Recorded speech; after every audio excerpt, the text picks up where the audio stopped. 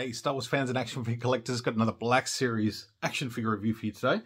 Is the 42nd edition to The Mandalorian in the Black Series. Um, yeah, really, really quite excited about this one. It's the Imperial Armored Commando. Um, yeah, this is one I wasn't overly in a rush to get. Um, it's taking a a little while, um, but it's a design that didn't really grab me instantly. It's it's definitely grown on me uh, since the debut in season three. If you recall, these are Moff Gideon's uh, own sort of Mandalorian elite troops. And uh, you know, I was kind of the opinion when this guy came out that it was like, why would you change the awesome design that the Imperial Commandos had in Rebels? Um, which is only like 10 years before these guys' appearances, but things change, armor changes. It's a natural sort of progression. Um, it's definitely sort of more imperial than sort of Mandalorian, where they sort of the the troops under Gar Saxon, they were definitely a little bit more Mandalorian aesthetic more than imperial. Whereas these ones have got the uh, definitely got got the uh, imperial vibe going with a little bit of a uh, little bit of Mandalorian in them. So, um, and being made of Beskar as well. I don't know. I'm keen. I'm I'm thinking maybe having the figure in hand will uh, will increase my opinion of the uh, and grow my appreciation of the of the armor look. So, without further ado, I mean before we open it, we'll take a look around the packaging. It's got a cool picture on the side, a little bio on the back. You can check that out and have a pause and have a read. Next to the pretty cool picture there of him. But besides that, let's bust it open and have a look. Alright folks, here it is out of the packaging, looking pretty damn cool to be honest. Yeah, I've just, just sat and had a look at this guy for a couple of minutes and uh, yeah, I'm ready to do some discussing because it is pretty damn cool, I'll be honest.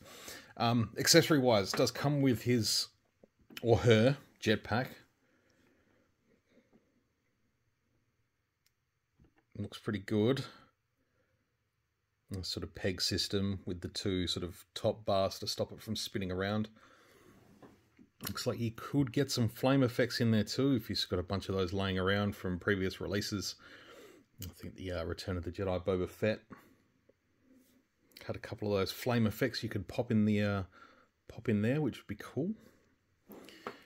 We've got, I believe these are a couple of new blasters, but very, very Star Wars. I'm not sure if we've seen these before. Maybe in one of the Andor figures, if I'm remembering correctly, but I'm not sure. I, I don't think so. a little silver touch at the uh, at the end there. But that's a cool design. I like it. It's a little bit reminiscent of the uh, the clones blaster pistols. So I like it.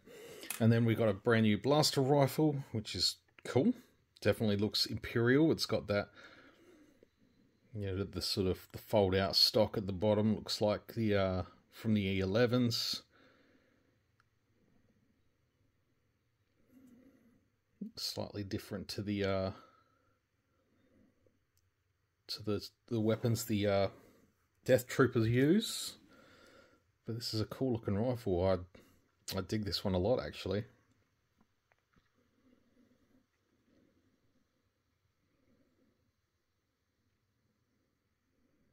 So that's nice.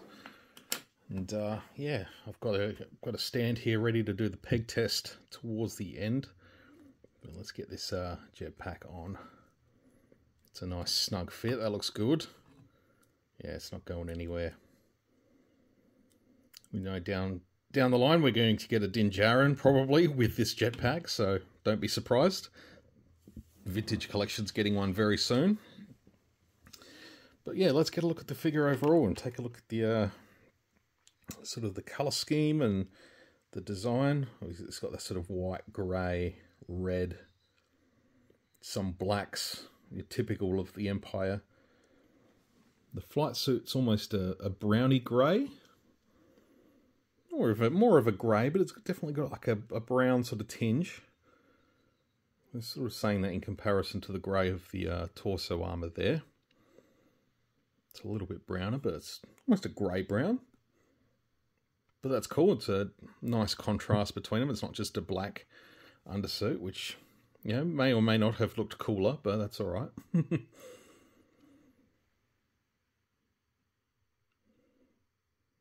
again, I'm liking the uh, all the bits and pieces. Feels very stormtrooper, snow trooper. It's still got that sort of Mandalorian touch to it. Well, he's got this sort of, I don't know what they are. Again, we haven't had any good visual dictionaries in the last few years. Maybe the latest one that comes out will include this guy in it. And maybe some of the stuff from Mandalorian Season 3.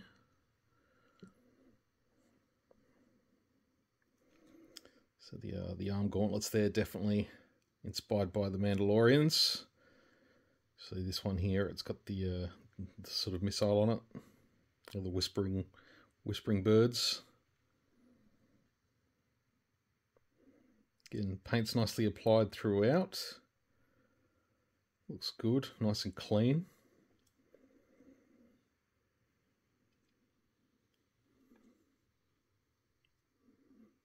It's all newly sculpted by the looks of it for this guy.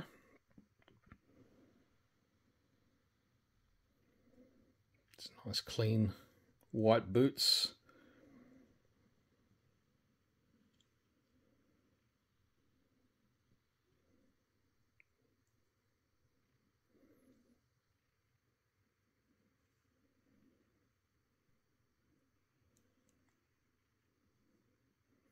overall looks pretty damn good to me.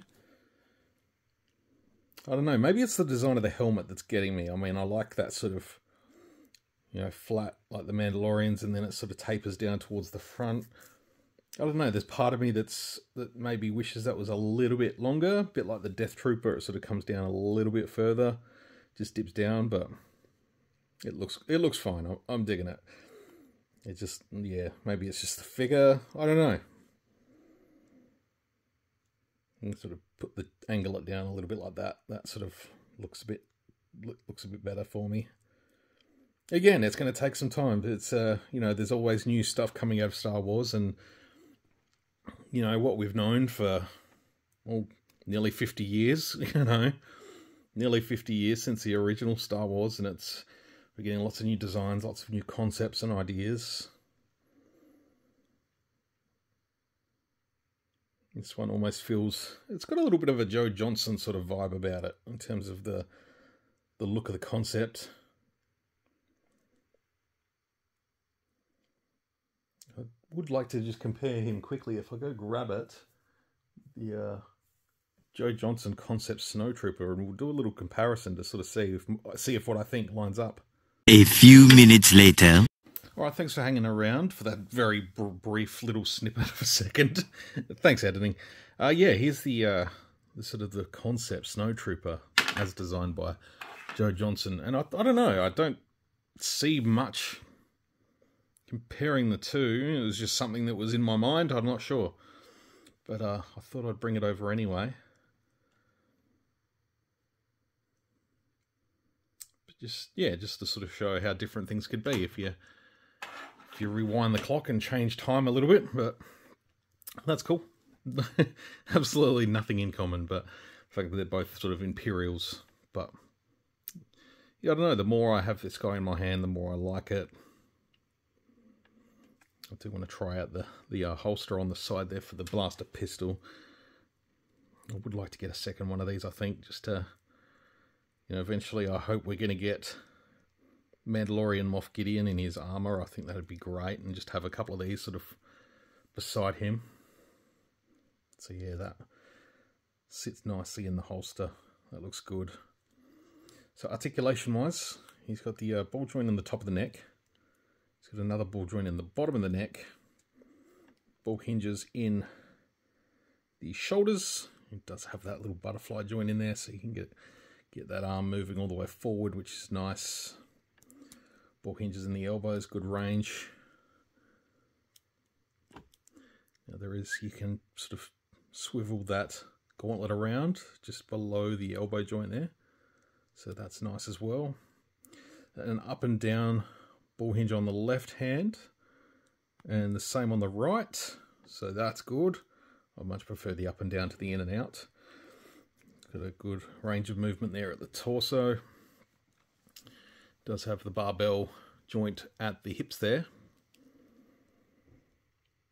No thigh swivel there, but that's fine. They're sort of, I don't know, it's a little bit funny. They're sort of coming in and out with some figures depending on the figure, but the ball joint in the knee, ball joint in the ankle there, and the rocker in the foot. So, yeah, pretty much standard 6 inch Black Series articulation, which is fantastic, honestly, you know. Let's, uh, let's arm him up with the uh, rifle because I really like the look of this rifle. That's a, that's a fantastic design.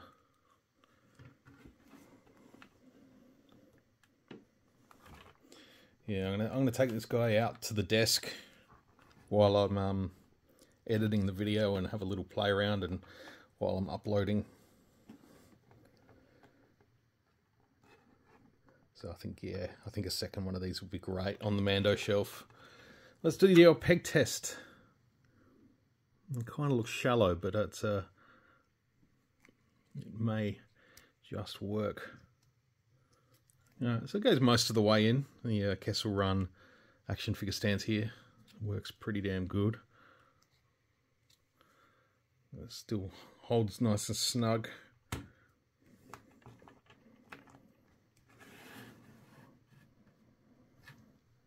If you want to know more about these stands, you just sort of scroll back through my channel or come and check out kesselrunhair.com.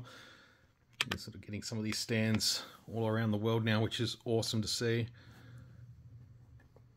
They've turned out to be pretty damn good.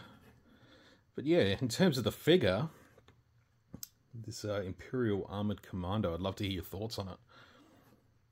I think uh, it's it's very quickly growing on me. This design, this sort of trooper design, it's almost got a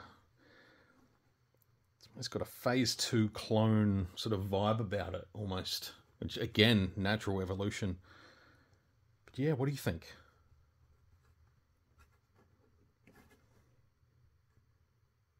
I'd love to hear your thoughts. Please send out in the comments below if you got some got some thoughts. like I said, I'd love to hear it, and um, yeah, we'll have a have a have a chat down in the comments.